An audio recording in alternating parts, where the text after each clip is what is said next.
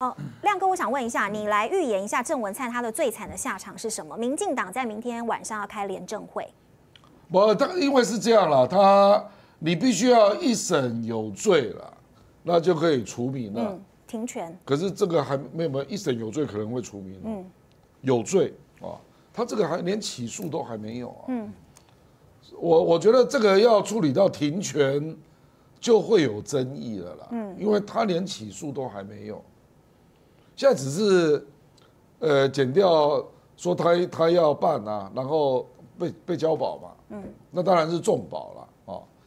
那人家有话说啊，台南那十二十一个也是重保啊，结果通通都无罪。嗯嗯，我跟你讲，未来啊，这个案子人家会去对比台南的案子了。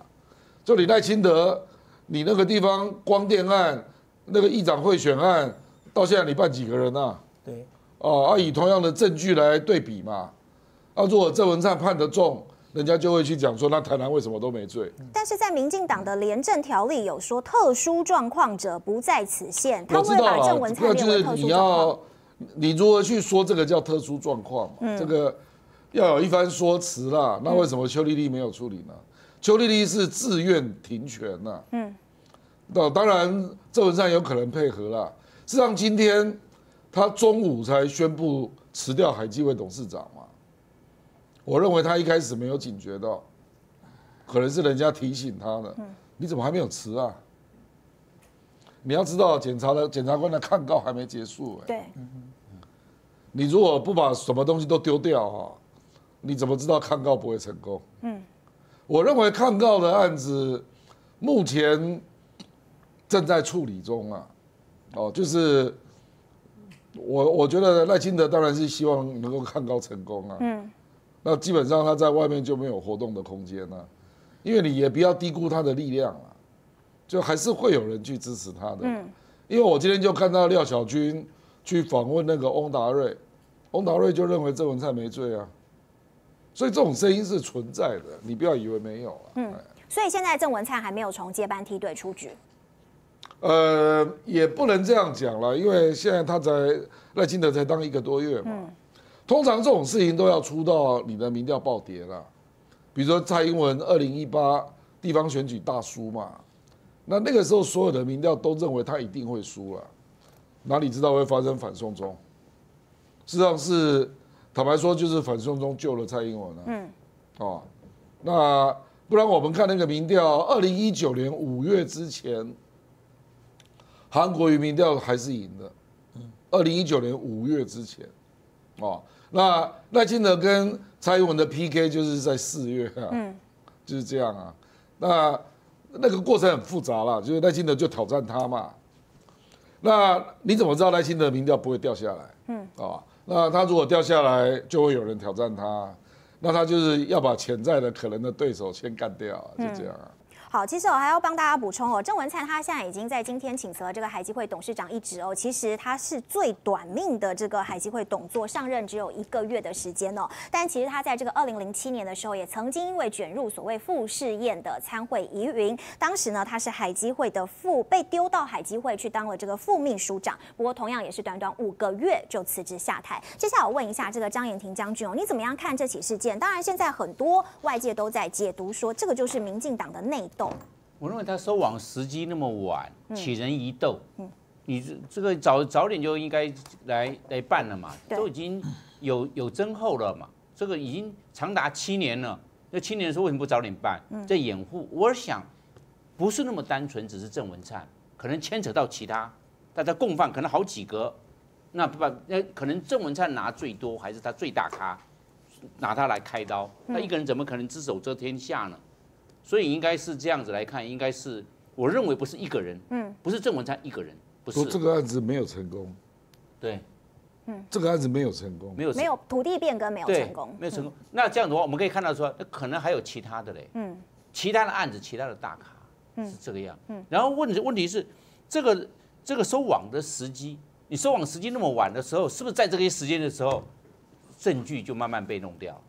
那慢慢被把它消失掉了，因为你久了嘛，因为刚好打铁趁热啊，利用这些时间把这个证据，这不利的证据把它拿掉，这个不利证据拿掉，让郑文灿的整个的这个损管能够降到最低，损害管制，因为因为要变成这个样子啊。他说，那你时间越久，郑文灿的损害管制可以做的越多，那这样，那换掉现在的话变变成就是大事化小，小事化无，因为以时间为以时间换取空间嘛，拿时间换取整个罪证的降低，有这个这个状况啊，嗯那是不是这样子？我是想着有他有政治的考量，不是司法的考量啊，有这样子来看。然后另外一个。那是不是有时候不见得是郑文灿呢？他可以经过白手套，为什么一定要郑文灿？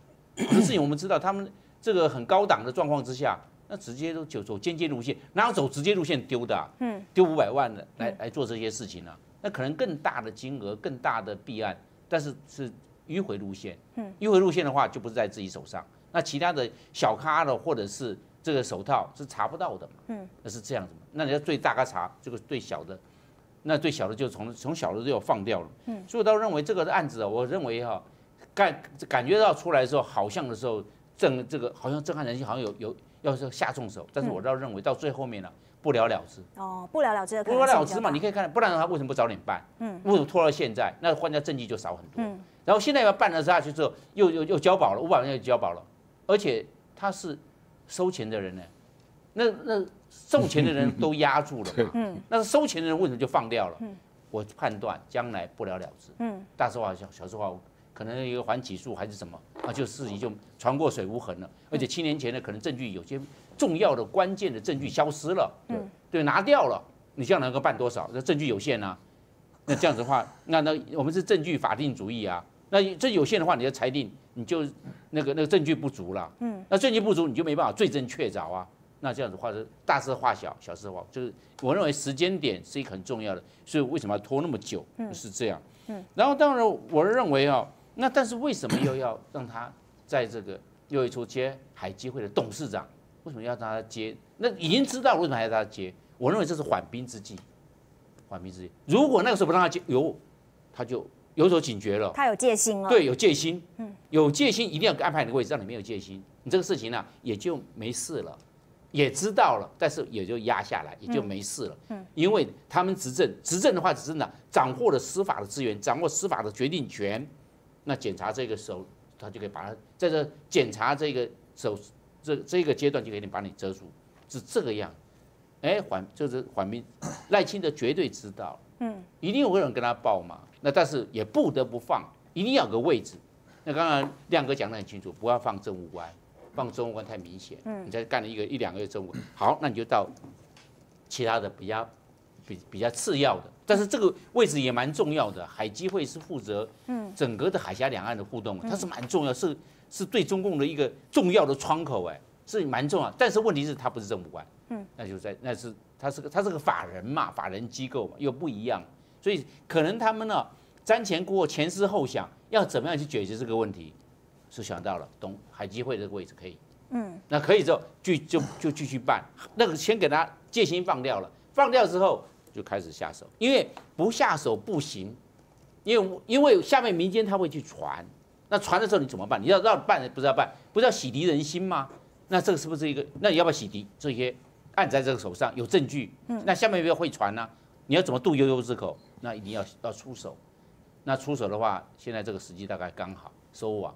那那但是做了可以做了，但是我倒认为整个来看的话，还是按照以前的这种惯例，大事化小，小事化无，变成雷声大。现在雷声感到很大，大家这两天的新闻好像这个这个这个量蛮多的，但是到最后面大概就不了了之了。嗯。